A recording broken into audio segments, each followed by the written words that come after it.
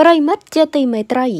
សំណាងហួសថ្លែងនារីម្នាក់កំពុងខ្វះខាតផង ស្រាប់តែខ្លាយទៅជាអ្នកមានដោយមិនដឹងខ្លួនដោយសារតែចាថាតើដោយសារតែអ្វីនោះឥឡូវយើងតាមដានព័ត៌មានលំអិតទាំងអស់គ្នាសំណាងពិតជាមើលមិនឃើញមែនស្ត្រីជនជាតិថៃម្នាក់មានជីវភាពក្រលំបាកខ្វះខាន ខ្វះមុខខ្វះក្រោយស្រាប់តែមិននឹកស្មានថាចៃដន្យជួបប្រទេស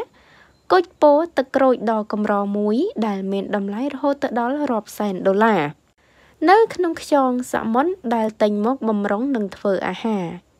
ស្ត្រីសំណាងរូបនេះមានឈ្មោះថាកូតឆាខនមកពីខេត្ត សាតាន់ប្រទេសថៃបានឲ្យដឹងថាកាលពីថ្ងៃទី30ខែមករា2021កន្លងទៅរូបនាងបានទិញខ្យងសមុទ្រមកពីផ្សារក្នុងតម្លៃប្រមាណ70បាត ហើយនាងក៏បានធ្វើការលាងសម្អាតនិងឆ្កឹះវា ស្រាប់តែភ្លាមភ្លាមនោះនាងបានប្រទះឃើញវត្ថុម្យ៉ាងពោទឹកក្រូចប្លែកដែលដំបូងនាងស្មានថាជាដុំថ្ម ក្រោយមក នាងពិតជាមានការភ្ញាក់ផ្អើលយ៉ាងខ្លាំងដោយដឹងថា វាគឺជាគុជខ្យងដ៏កម្រដែលមានទម្ងន់រហូតទៅដល់6ខាំនិងប្រវែង1.5សង់ទីម៉ែត្រដែលមានតម្លៃរហូតទៅដល់រាប់សែនដុល្លារស្ត្រីរូបនេះបានបន្តថា ដោយខ្លាចអ្នកលក់ខ្យងមកទា យកគុជនេះទៅវិញទៅនាង បានព្យាយាមធ្វើការលាក់បាំង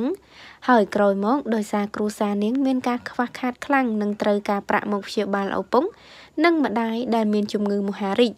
ទៅនាង សម្រេចចិនដាក់លក់នាងបានដាក់លក់គុជខ្យងនេះជាសាធារណៈនៅថ្ងៃទី18មិនិនា2021នេះហើយសង្ឃឹមថា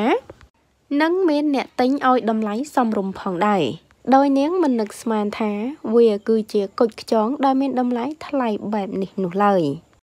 យ៉ាងណាមិញនាងមិនមែនជាមនុស្សទី1ទេដែលបានរកឃើញគុជខ្យងនេះ តែនាងពិតជាមានសំណាងណាស់ដែល